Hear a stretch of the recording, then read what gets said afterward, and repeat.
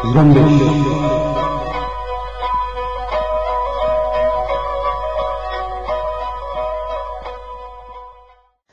इतवार 31 मई साल 2020 है। आप सुन रहे हैं जुम्बिश ब्रॉडकास्टिंग कारपोरेशन की पेशकश।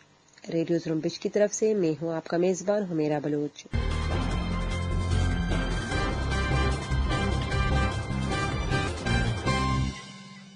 आपको बताता चले कि सानिया डन्नुक के जिसमें पाकिस्तानी फौज के पाले हुए डेथ स्क्वाड ने घर पर हमला करके एक खातून को शहीद और चार साल भ्रंश को जख्मी किया था। इस हवाले से मुख्तलिफ़ समाजी व सियासी खलकों की जानब से शदीद गम और गुस्से का इजहार किया जा रहा है। दूसरी तरफ़ इस वाक़े के खिलाफ कल ग्वादर में सिविल सोसाइटी ने एहतजाज किया था और तुरबत में यकम जून को एहतजाज का ऐलान किया गया है। हम देख रहे हैं कि सरकार इस वाक़े को दबाने या सर्द करने की नाकाम कोशिश कर रही है। कोरोना से दुनिया भर में तीन लाख सत्तर हज़ार से ज़्यादा हलाकते और सात लाख के करीब अफराद मुतासर, जबकि मकबूजा बलूचिस्तान में कोरोना तेज़ी से फैल रही है। महकमा सेहत के सैकड़ों अफराद मुतासर आवारान समेत बलूचिस्तान भर में फौजी ऑपरेशन जारी। मस्तुंग वाशुंग ओशाब समेत मुख्तलिफ़ इलाकों में बलोच सरमाचारों का पाकिस्तानी फोर्सेस पर हमला। अफ़गानिस्तान में तालिबान की वहशियत जारी, पंद्रह फौजी कत्ल। क्वेटा में पुरतशद हजूम का अमला। हालात कशीदा ये थी अहम खबरों की सुर्खियाँ। हमारे यूट्यूब चैनल को सब्सक्राइब करें और हमारे फेसबुक पेज को लाइक करें, जहाँ आप बलूचिस्तान समेत इलाके और आलमी सुरताल से बाखबर रह सकते हैं। आइए अब बलूचिस्तान से मुतल खबरें तफसील से सुनते हैं सारिन बलोच की जुबानी।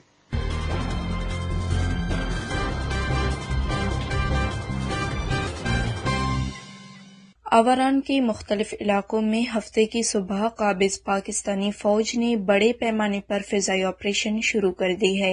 रेडियो जुम्बिश को मिलने वाली इतलात के मुताबिक पाकिस्तानी फौज के चार गनशिप हेलीकॉप्टर आवारान के पहाड़ी इलाके वली द्रासकी समेत गिरदनवा में मुसलसल शेलिंग की है, जो आखिरी इतलात आने तक जारी था। मस्तुम के इलाके स्प्लेंजी में मुसल्ह अफराद ने काबिज पाकिस्तानी फोर्सेस के कानवाय पर घात लगाकर हमला किया है।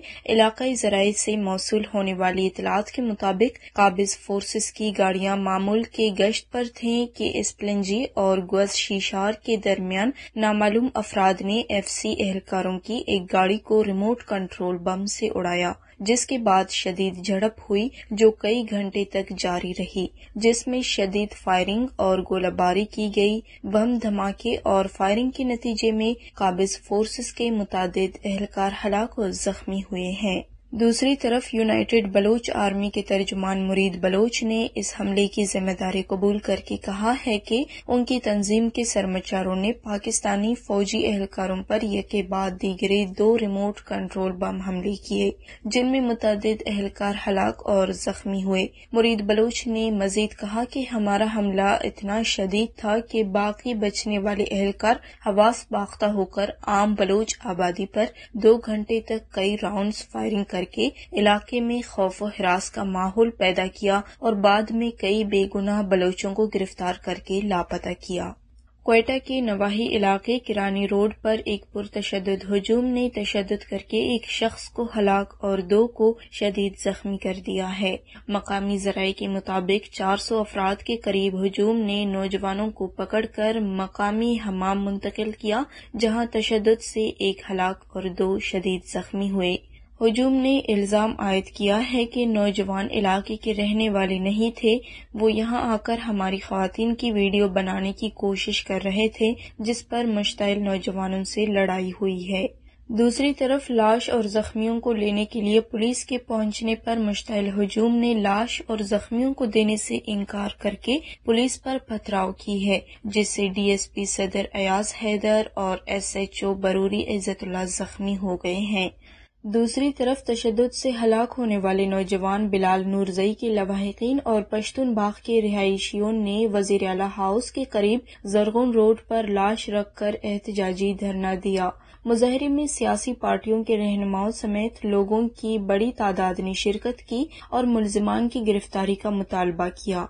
एहतजाज में शरीक पश्तून बाग के रिहायशी वली मोहम्मद राबी ने कहा कि पुलिस की मौजूदगी में नौजवानों पर बदतरीन तशद किया गया। उनके जिसम देखने काबिल नहीं, लाश की भी बेहरमती की गई। पुलिस ने हजूम को मुंतशिर करने के लिए हवाई फायरिंग तक नहीं की। पुलिस ने इस हवाले से कहा है, वाकई में मुलविस ग्यारह अफराद को छापे मार कर गिरफ़्तार करके उनके खिलाफ थाना बरूरी में कत्ल एकदम कत्ल समेत दीगर दफात के तहत मुकदमा दर्ज कर लिया गया है। इलाके के एस एच ओ का कहना है कि वाकई की तहकीकात शुरू कर दी गई है। फोटेजेस की मदद से बाकी मुलजमान की शनाख्त की जा रही है। बाद डिप्टी कमिश्नर कोयटा औरंगज़ेब बादेनी की तहरीरी यकीन दहानी के बाद लवाकिन ने एहतजाजी धरना खत्म किया। केच के मरकजी शहर तुरबत में पाकिस्तानी इदारों की सरपरस्ती में कायम जराम पेशा ग्रोह की तरफ़ से दौरान डकैती, एक खातून को कत्ल और मासूम बच्ची को जख्मी करने के वाक़े के खिलाफ ग्वादर में एहतजाजी मुजाहरा किया गया। मुजाहरीन ने कहा कि डन्नुक में डाकुओं के हाथों कत्ल होने वाली खातून सिर्फ़ ब्रम्श की वालदा नहीं, बल्कि हम सब की माँ है। इसलिए हम सब की ज़िम्मेदारी बनती है कि इस वाक़े के खिलाफ आवाज़ बुलंद करें और डन्नुक में डकैती में मुलविस मुजरिमों के बारे में पूरा बलूचिस्तान जानता है कि इन मुसल्ह लोगों को किसकी पुष्ट पनाही हासिल है।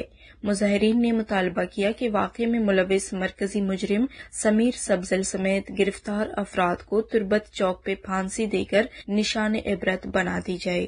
बलूचिस्तान लिबरेशन फ्रंट के तर्जुमान मेजर गौरम बलोच ने काबिज पाकिस्तानी फोर्सेस पर मुख्तलिफ़ हमलों की ज़िम्मेदारी कबूल करते हुए कहा है कि बीएलएफ के सरमचारों ने वाशुक के इलाके रागे बलोचाबाद में आर्मी कैंप पर खुदकार भारी हथियारों से हमला किया, जिसमें काबिज फौज को भारी जानी और माली नुकसान उठाना पड़ा। हमले के बाद दुश्मन फौज ने आम आबादियों पर मार्टर गोले बरसाए। गौरम बलोच का मजीद कहना था कि जमेरात को बीएलएफ के सरमाचारों ने केच के इलाके होशाब गोंडसरे में कायम काबिज पाकिस्तानी फोर्सेस की चौकी पर हमला किया, जिससे दो फौजी एहलकार हलाक और एक जख्मी हुआ।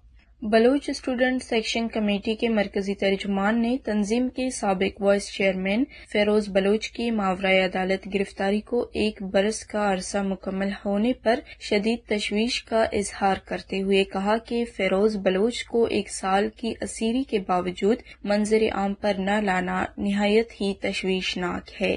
उन्होंने कहा कि गुजशत साल उनतीस मई को फिरोज बलोच और उनके करीबी रिश्तेदार जमील बलोच ईद की छुट्टियाँ गुजारने अपने आबाई इलाके पंजगूर जा रहे थे, जब उन्हें कलात के मकाम से जबरी तौर पर गिरफ़्तार करके लापता किया गया।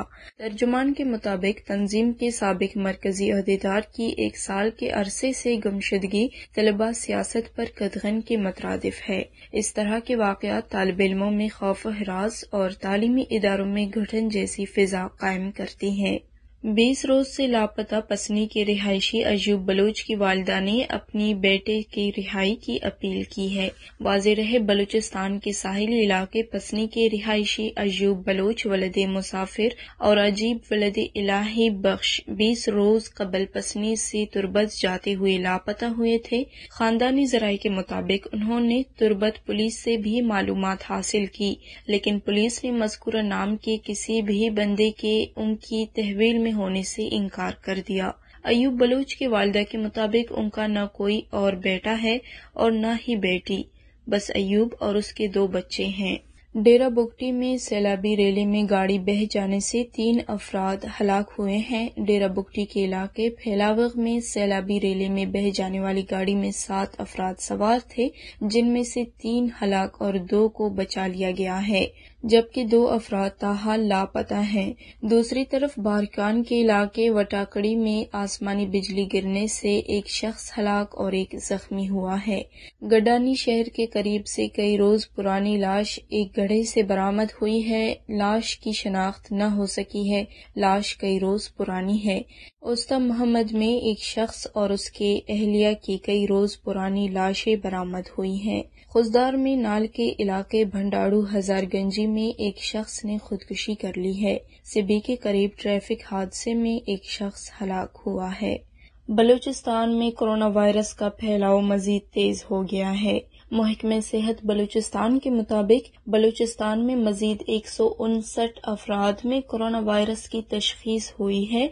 जिसके बाद बलूचिस्तान में कोरोना से मुतासर अफराद की तादाद चार हज़ार सतासी हो गई है, जबकि एक हज़ार चार सौ अफराद सेहत याब हो चुके हैं।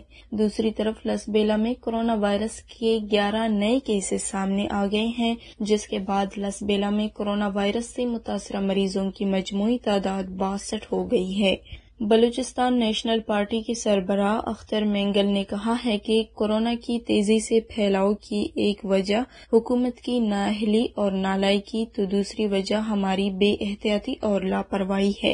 हुकूमती नालायकी का तो हमारे पास तो क्या हुक्मरानों के अपने पास कोई इलाज नहीं, लेकिन एहतियात और परहेज के लिए हमें किसी हुकूमती सरपरस्ती या इमदाद की ज़रूरत नहीं, लिहाजा एहतियात करके खुद को कोरोना से बचाया जाए। Balochistan private schools grand alliance ने बलूचिस्तान में तालीमी इदारों की 15 जुलाई तक बंदिश के हुकूमती फैसले को मस्तरद करते हुए स्कूलों को खास तरीक़ेकार के तहत फौरी खोलने, निजी तालीमी इदारों के लिए फौरी इमरजेंसी पैकेज का ऐलान और उन्हें बिला सूद कर्जों की फरहमी का मुतालबा करते हुए कहा है कि अगर ऐसा न किया गया तो ग्रैंड अलायंस अगले हफ़्ते से एक मरतबा फिर एहतजाज का सिलसिला शुरू करने के लिए लाया अमल मरतब करेगी।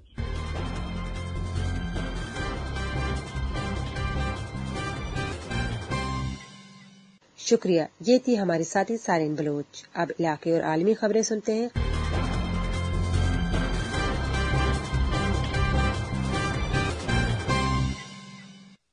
पाकिस्तान में कोरोना वायरस के केसेस की तादाद सड़सठ हज़ार चार सौ सत्तावन हो चुकी है, जबकि हलाक अफराद की कुल तादाद एक हज़ार चार सौ के करीब पहुँच चुकी है। पाकिस्तान में कोरोना वायरस के चालीस हज़ार नौ सौ इकतीस मरीज़ अब भी जेर इलाज हैं, जबकि चौबीस हज़ार एक सौ इकतीस मरीज़ सेहतियाब हो चुके हैं। पाकिस्तान में कोरोना वायरस की बढ़ती हुई तादाद के पेश नज़र हर शख्स के लिए मास्क पहनने को लाजमी करार दे दिया गया है। इस्लामाबाद में मीडिया ब्रीफिंग के दौरान वज़ीर अजम पाकिस्तान के माओन खसूसी बरए सेहत, डॉक्टर ज़फ़र मिर्ज़ा का कहना था कि मसाजिद, बाजारों, दुकानों, public transport, train, bus, van में मास्क पहनना लाजमी होगा। सिंध में कत्ल किए गए सहाफी अज़ीज़ मेमन के कत्ल की तफ्तीश के लिए तश्कील दी गई। Joint investigation team J I T के सरबरा ए आई जी गुलाम नबी मेमन ने कहा है कि कत्ल में मुलवस मरकजी मुलजम की निशानदेही हुई है और गिरफ़्तार एक मुलजमान ने अदालत के सामने एतराफ़ जुर्म कर लिया है। एडिशनल आईजी गुलाम नबी मेमन ने नवाबशाह में मीडिया से गुफ्तगू करते हुए कहा है कि सहाफ़ी अज़ीज़ मेमन की मौत हादसाती नहीं थी, बल्कि उनको कत्ल किया गया था। मशरकी अफ़गानिस्तान में तालिबान के हमले में पंद्रह अफगान फौजी हलाक हो गए हैं। अफगान एकाम ने फौजियों की हलाकतों की तस्दीक की है। ताहम जिला दांदे पतन के गवर्नर ईद मोहम्मद आमद जई ने खबर रसा ए एफ़ पी से गुफ्तु में दावा किया है कि हमले में सिक्योरिटी फोर्सेस के पंद्रह एहलकार और बीस तालिबान मारे गए हैं। अमरीकी रियासत मेनीसोटा में पाम शख्स के कत्ल में मुलवस पुलिस एहलकार को गिरफ़्तार करके उसके खिलाफ कत्ल का मुकदमा दर्ज कर लिया गया है, जिससे वाक़े की मजीद तफ्तीश जारी है। दूसरी तरफ़ रियासत मेनीसोटा में पाम शख्स के पुलिस के हाथों हलाकत के खिलाफ तीसरे रोज भी मुजाहरे किए गए, जिसमें मुश्तिल अफराद ने कई गाड़ियों और दर्जनों अमलाक को आग लगा दी है। चीन ने हांगकांग में नेशनल सिक्योरिटी बिल के मामले में अमरीका पर अकवा मुतहदा को यरगमाल बनाने का इल्ज़ाम आयद करते हुए मगरबी ममालिक को खबरदार किया है कि वो चीन के अंदरूनी मामला में मुदाखलत न करें। वाजे रहे कि अमरीका, बरतानिया, कनाडा और ऑस्ट्रेलिया ने नेशनल सिक्योरिटी बिल पर कड़ी तनकीद की है। जिसके तहत चीन की सिक्योरिटी एजेंसियाँ हांगकांग में खुलेआम कार्रवाइयाँ कर सकेंगी। अमरीकी सदर डोनाल्ड ट्रंप की इंतजामिया ने खुफिया तौर पर दूसरी हुकूमतों, बंदरगाहों जहाजरानी और इंश्योरेंस कंपनियों को मुतंबा किया है कि अगर वो ईरानी ईंधन को वेनेजुएला ले जाने वाले टैंकरों को सफरी सहूलत फराम करते या उन्हें किसी किस्म की मदद फराम करते हैं तो उन्हें सख्त नोयत की पाबंदियों का सामना करना पड़ेगा। मलेशिया में वज़ीर आज़म मोहुद्दीन यासीन की जेर क्यादत हुक्मरान जमायत ने सबक वज़ीर आज़म मातेर मोहम्मद और चार दीगर अरकान को पार्टी से बाहर निकाल दिया है। इस सिलसिले में यूनाइटेड इंडिजीनियस पार्टी की जानब से जारी बयान में कहा गया है कि मातेर मोहम्मद चौरानवे साल समेत दीगर चार अपराध की पार्टी रुकनीत फौरी तौर पर मनसूख कर दी गई है। अमरीकी कांग्रेस ने एक कानूनी बिल मंजूर किया है। ये कानून उन चीनी जिम्मेदारान पर पाबंदियाँ आयद करता है, जिन पर सिंह क्यांग सूबे में वीगोर मुसलमान अकलियत के खिलाफ हुकूक की पामालियों का इल्ज़ाम है। बिलखसूस उन इज्तमाही गिरफ्तारियों के सबब जो इस मुस्लिम अकलियत के अपराध के खिलाफ अमल में आईं।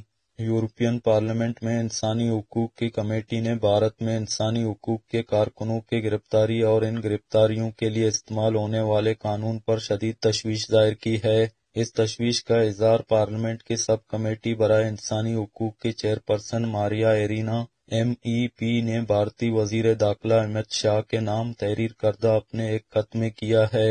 उन्होंने भारतीय वज़ीर दाखिला को मुखातब करते हुए कहा है कि हम भारत में इंसानी हकूक के लिए काम करने वाले कारकुनों की तहफ़ और नेशनल इन्वेस्टिगेटिव एजेंसी की जानब से गौतम नौलक्का और आनंद तल टोमडे की आलिया गिरफ्तारी पर शदीद तहफ़ का इजहार करना चाहते हैं। दुनिया भर में कोरोना वायरस से मुतासर अपराध की तादाद साठ लाख चौंसठ हज़ार दो सौ उनसठ हो गई है। जबकि इससे हलाकतें तीन लाख सड़सठ हज़ार चार सौ चौहत्तर हैं। कोरोना वायरस के दुनिया भर में तीस लाख सात हज़ार सतानवे मरीज़ अब भी अस्पतालों में जेर इलाज हैं, जिनमें से तिरपन हज़ार सात सौ चौवन की हालत तशवीशनाक है, जबकि छब्बीस लाख इकहत्तर हज़ार चार सौ चालीस मरीज़ सेहतियाब हो चुके हैं। अक़वाम मुतहदा ने कहा है कि यमन भर में कोरोना वायरस वसी पैमाने पर और तेज़ी से फैल रहा है। आलमी इदारे के फलाई कामों के सरबरा मार्क लोको के मुताबिक उन्हें खबर मिल रही है कि तेज बुखार और सांस लेने में दुश्वारी के शिकार लोगों को अस्पताल में दाखिल नहीं किया जा रहा, क्योंकि या तो वो पहले ही भरे हुए हैं या महफूज तरीके से इलाज के काबिल नहीं। अमरीकी सदर डोनाल्ड ट्रंप ने कहा है कि वो आलमी इदारा सेहत के साथ अमरीकी ताल्लुकात ख़त्म कर रहे हैं। क्यों आलमी इदारा सेहत कोरोना वायरस के इब्तदाई फैलाव का मुकाबला करने के लिए कातर कोशिश करने में नाकाम रहा है?